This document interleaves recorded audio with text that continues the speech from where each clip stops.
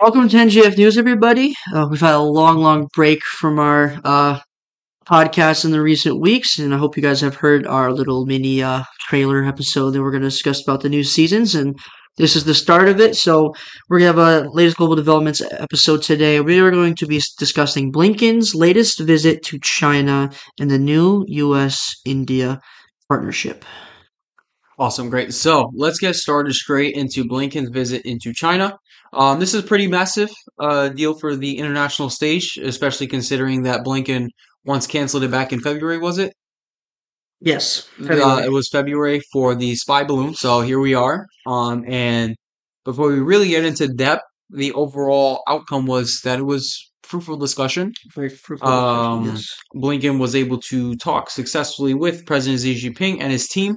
Um, they were good discussions, substantive, uh, constructive, and they were focused on bilateral um, priorities for global, regional, and also, um, yeah, I already said bilateral. Anyways, I was going to repeat that again. But their goal is to focus on more communication and reduce mis uh, mismanagement, and also they're also committed uh, to continue to stay competitive, if that makes sense. So Yeah. They they went in there and they were like, "Listen, we understand that we we've been uh we've been not so well with each other. We've been miscommunicating here and there. So how about this? Let's start fresh and let's say that we do have some problems that we need to address."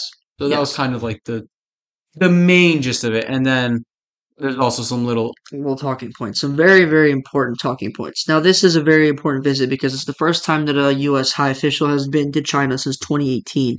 So this is, it's not only like I would say, I would say revolutionary, but it's like critical because the fact that they haven't had a visit to either of each other's countries, um, is is probably one of the reasons for the mistake and the lack of communications because there's just no relationship.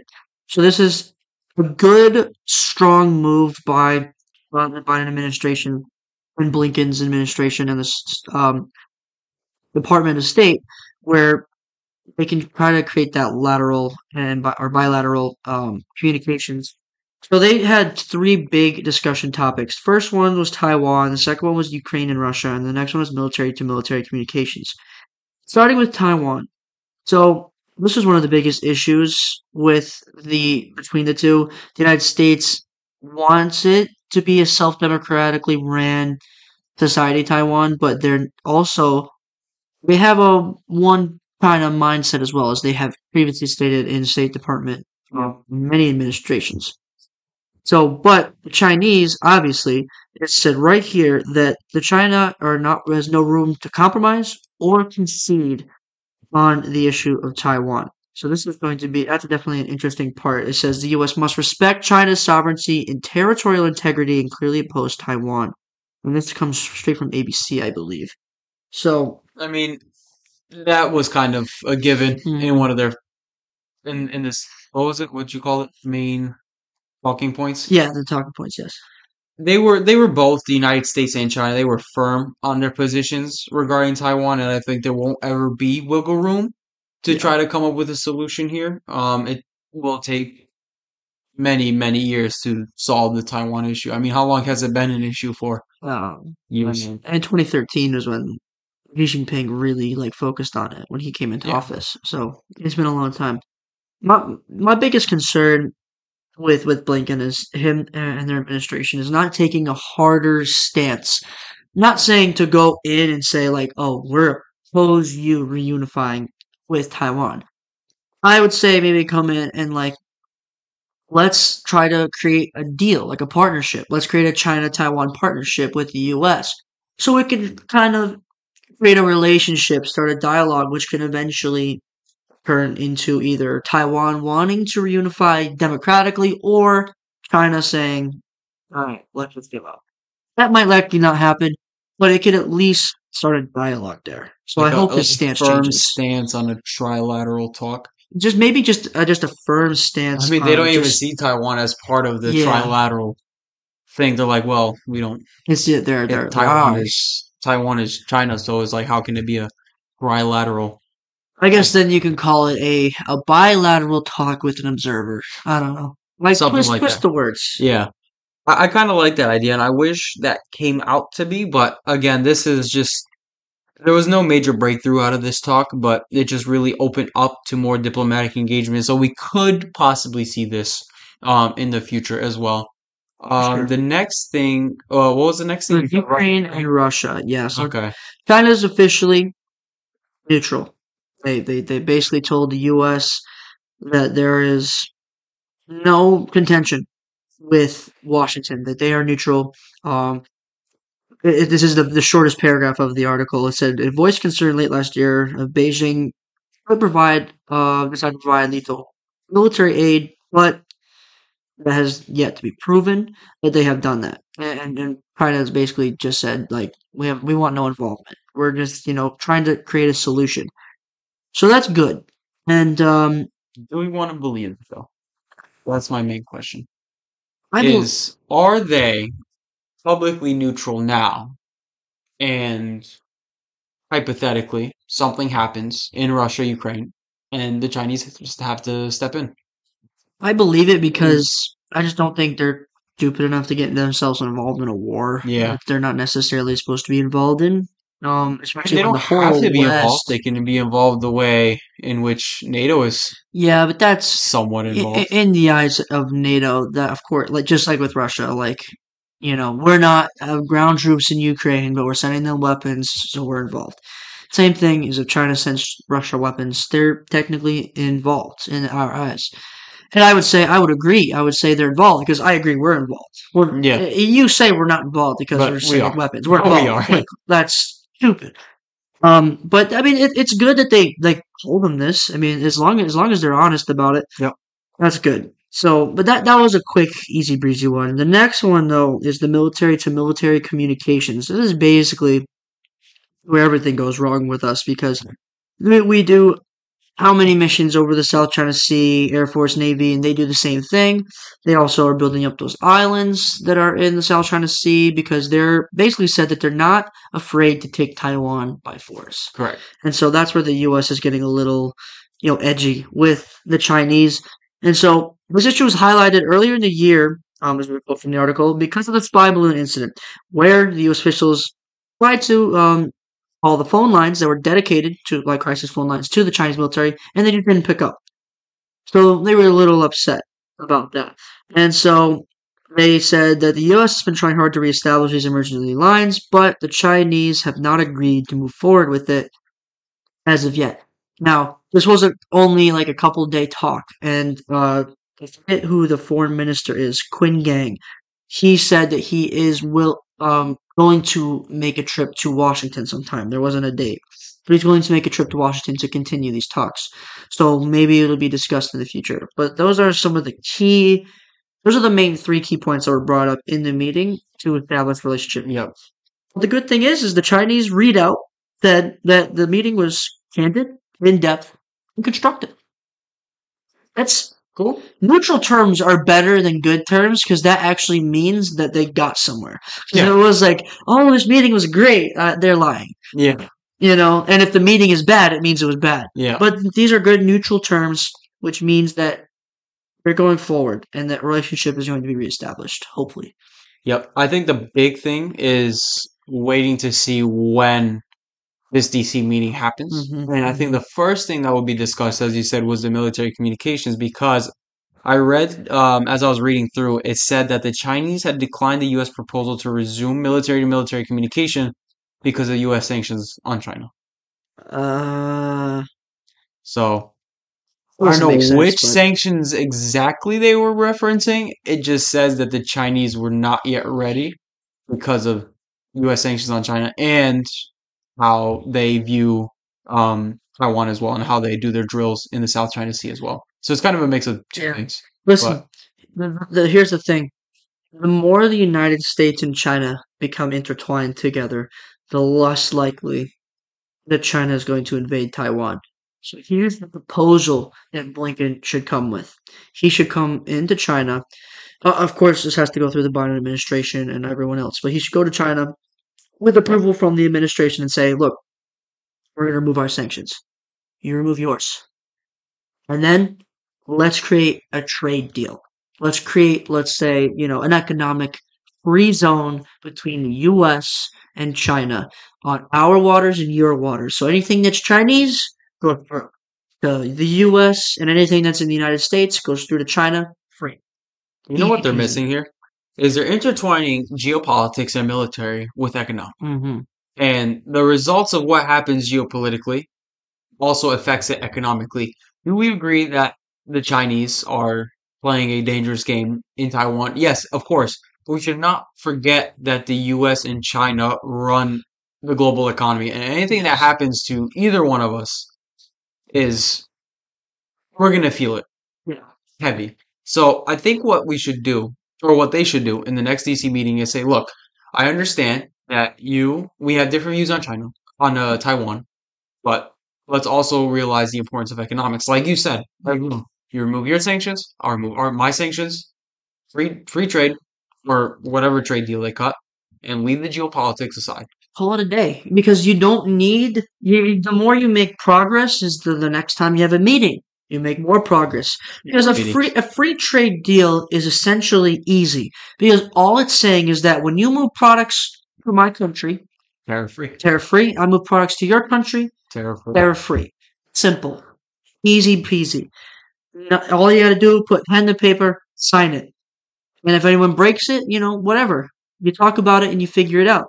It will likely not happen. So it, it'll definitely be much. It'll be like a good stepping stone to the, the next meeting, to the next meeting, to the next meeting. And so, and I, I read an article the other day too. The reason why this is so important, where the, it says that the EU, as in general, and the UK are lagging behind the United States so much in terms of economics that in a few years the gap is going to be basically not unclosable. Like Europe will not be able to even get, come close to the United States in terms of economic standards. So this deal could be so important to the United States, but also to the EU, where the EU could say, "Well, okay, they Talk did it. that. Let's do it too. Free trade. You know, whatever goes into the eurozone, free. Whatever we go into the Beijing, free. Easy. I wish it was that easy though. I wish it was It's- that easy. Yeah. It's the geopolitics and it's the it's it's just the politics that you know, i- i- it's unfortunate because like we we talk about human rights and we talk about climate change and we talk about um, war, and then we want to solve these issues and we want to fix the problems, but then when solutions come to the table, like economic ones, everyone's like, "Oh, well, they're violating human rights." Well, you know, if you economically intertwine yourself with them, human rights might not be violated anymore because they're going to realize that if we keep violating human rights, we're going to lose billions of dollars correct. And and not, it's not going to happen overnight. If you mean to tell China right now to stop, you know, putting the Uyghurs in camps, you know, it's not going to change tomorrow. But there are solutions that can change over time that we have to really focus on. And Right. economics is a snowball effect. Yeah. You start somewhere. You start with one meeting, like you said, go to a different one, go to a third one, then you can start solving economic problems. Then they don't want to risk it. That that's that's smart. It's just a snowball effect. Yeah, Um, another thing that came out of these talks that I wanted to talk about was strengthening people-to-people exchanges, including direct flights, including increasing the number of direct flights between the United States and China. oh, So that was another another big thing that came out of this. Primarily, they were targeting student-to-student exchanges. Beijing, both Beijing and uh, Washington, they both want students to travel abroad in different countries. And I think this is a great idea because now you have students culturally mixing with one Mhm. another and learning about each other. And now you have an educated youth who will now be the next leaders, right? Of the Chinese students will now be the next leaders of, you know, China and yeah, Vice versa. Yeah, and I think this would be a fantastic way to bolster and kind of ensure the rel- the U.S. China relationship. yeah, Um, and I think this is a fantastic idea. But my really reluctance is China has a mass surveillance problem. Like they spy on everybody. How comfortable would U.S. students be to go to China and to study there in places like Beijing, Shanghai, when they have this mass surveillance problem? I personally wouldn't feel comfortable to go abroad and to study Yeah. in China. I would love to. I would love to have that experience and to talk to Chinese students and be a part of that culture, right? But I don't think I'd be comfortable knowing that I'm being watched every Yeah. day. Oh, And, and there's definitely, you know, things that we can do because uh, again, if they do surveil U.S. citizens, that is, you know, a, a breach of our sovereignty personally and the U.S. sovereignty. So, I mean, we can come up with an agreement that says, like, you know, like we we're gonna acknowledge that you watch your people, not tell you not to watch your people, but don't surveil ours. Make a little agreement, you know, something you you can sign doesn't have to be public record, whatever, something like that that can it kind of ensure the student to feel better. Because I mean, we, we let's get real here. The United States, if a Chinese citizen is coming to China, we're surveilling that person too. That's just how it is. Yep. Well, it, it- it's part of our national security. At least- of a threat. I mean, we don't really survey them. We don't we follow them. we don't. but, we know we know where they are. We know what they're doing. We don't follow every move, like when they're like eating out or what they're doing late at night. But like we have an idea for when like if something weird happens, you know, we can tap into that wire and figure out what who that person is, or if it is that person in general. Right. That's something that the Chinese can do. I mean, it's a national security issue. I'm not going to tell you that all the students we send over there are going to be great students. We don't know. We can only do so much. Oh, so much vetting. Just the same as you know they send over our, their students. Right. It's the same thing. So you're not going to tell them not to worry about them. It's a foreign entity in your country. But obviously they shouldn't be. You know they shouldn't turn around and like see a Chinese official pop out of the background and walk across and feel like they're being followed. Right. Um, and, and that's obviously you know a joke. You know what I mean? Yeah. By that word. I mean, this is also fantastic for business to business exchanges as well. Of Increase course. the number of direct flights and having to want more people to people exchanges. That only means like more more economic opportunities for startups in China, startups in the US who want to tap into the two biggest markets in the world. More business collaboration too, because the more that they get into, intertwined again, it, it forces governments to kind of like, okay, we like if something's going wrong, we need to establish a dialogue because Right. we're we're screwing over our businesses. Yep. So, So I think I think this is a step in the right direction and a much needed one. I think we praise this for like we we've been calling this out, this need to have a talk with China for like since a, one of our earliest episodes. yeah, a long time, and and and when Blinken had to cancel because of the spy balloon, at that point, I thought in my head, it's just It's over. it's not going to happen. Yeah. Like it, the communication is going to be bro is going to be broken. Um, so this is a good thing, especially in the wake of a war that's going on right now, because I think what it shows is China's commitment to the international order, and then it shows the U.S.'s commitment to just you know not breach sovereignty in in many ways. yeah. Hopefully, uh, hopefully the next meeting happens and good. This Yeah. is this is this was much needed and I'm I'm proud of what the United States has done. Yeah, definitely. So moving on now. This is this is the most shocking one. Not shocking, but really fascinating. really lovely in my opinion too. So we're going to talk about the new U.S. India partnership. Um, so this is a brand new collaboration working group partnership, whatever you want to call it. They were pretty vague in what they called it. Um, on strategic technologies and security. So the goal of the United States and India is one is that India wants to join the United States in air and maritime exercises.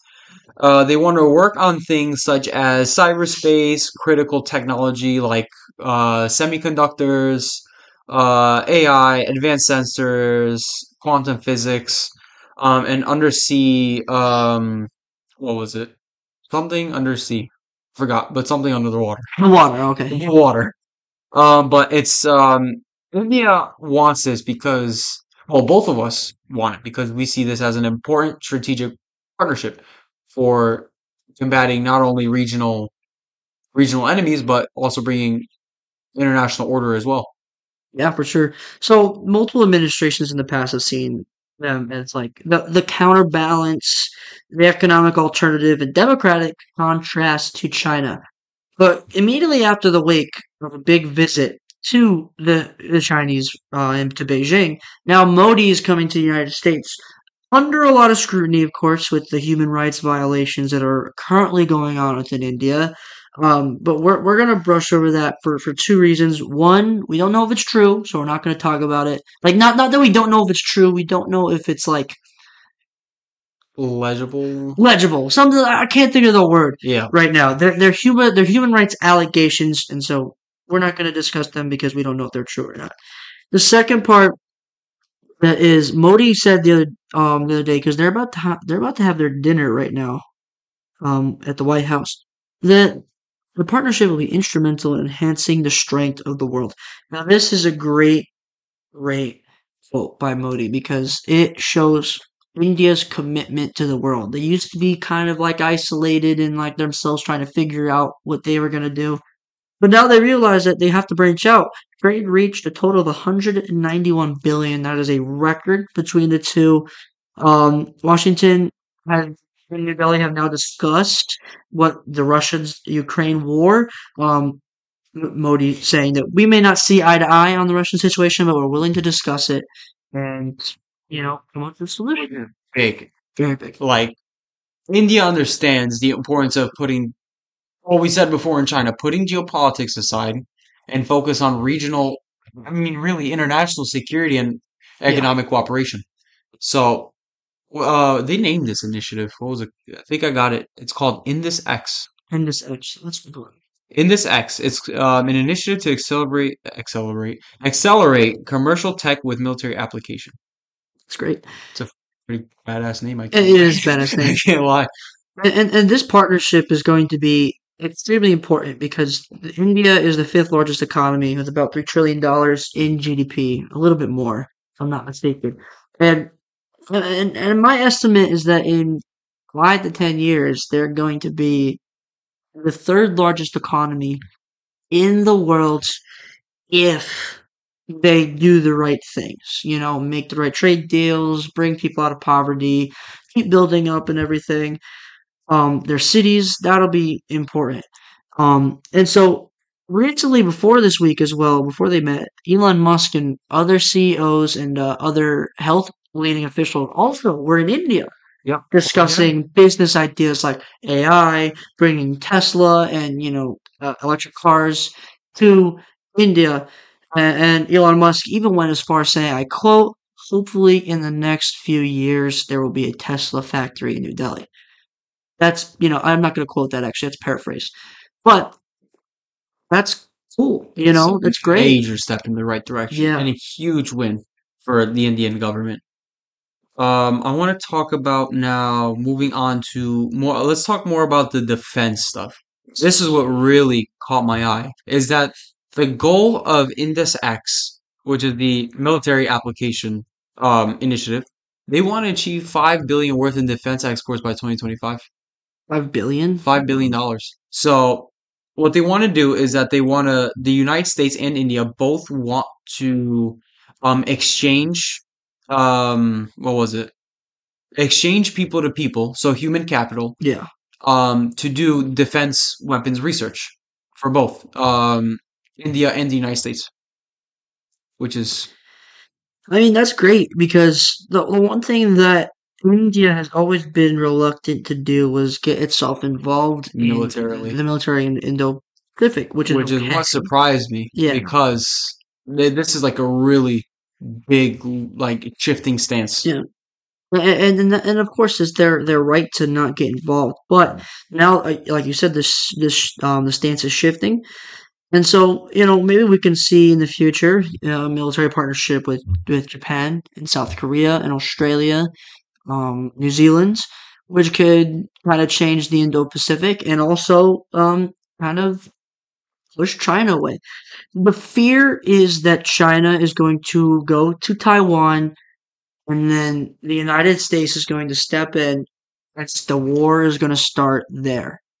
Japan South Korea are afraid they're going to like get their sovereignty stepped on with the Chinese.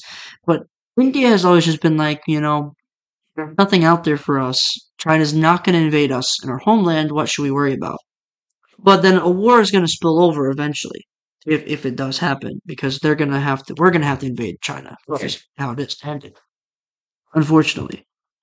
So this this shows their defense shift, and, and also it's a world defense shift. Everybody is upping their budgets and um, creating new partnerships with the United States. So this is this is pretty important, and it shows that the world is scared of you know war. They're very scared. They're Which very scared, and the way for peace is deterrence. Is what I'm taking away from from this. unfortunately, yes, Is that is. the only way to peace is through deterrence and It's always been like that. Like like the only reason I say unfortunately is because like we have to resort to building up our military. But like I I I, I agree, we have to do it. It's always been like that. Yep. World War started because another army didn't have another country didn't have an army and one did.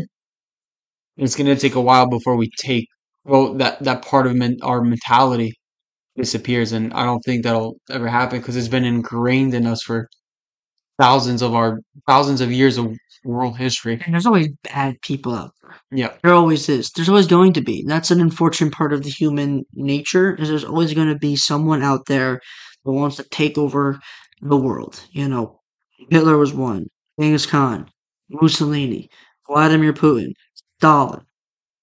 I'm not going to call Xi Jinping a dictator, but I mean, like Yeah. he, he wants economic dictatorship over the world. So yeah, there's always going to be a bad player.